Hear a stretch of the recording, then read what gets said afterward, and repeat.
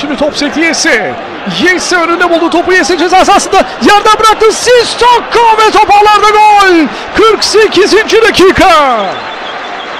Eskişehir Spor Adana deplasmanında bir kez daha önde. Gol İbrahim Sissoko.